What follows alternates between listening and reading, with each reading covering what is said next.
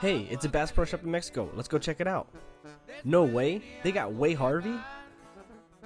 Check it out. They got Hobie Kayaks. Whoa, they got Bonfish.